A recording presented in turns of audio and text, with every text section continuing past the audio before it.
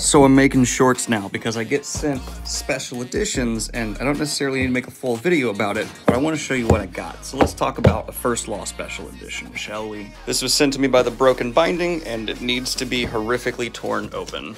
Like that. Let us watch it fall. Beautiful. It is time for the glorious reveal. That, oh my god, that's so much. Oh, they gift wrapped it. In case you forgot what you ordered, First Law. Focus. Focus. There we go. Yeah. That's right. Get the, the paper off and kablowie. Looks pretty normal. And then there's the broken binding touch. So they don't do a whole lot off the beaten path for these books, but they like to add a nice fringing and provide a great hardcover for some books you might have a hard time finding a hardcover for. They actually put a nice textured paper on here, and the book itself is pretty nice. So I approve.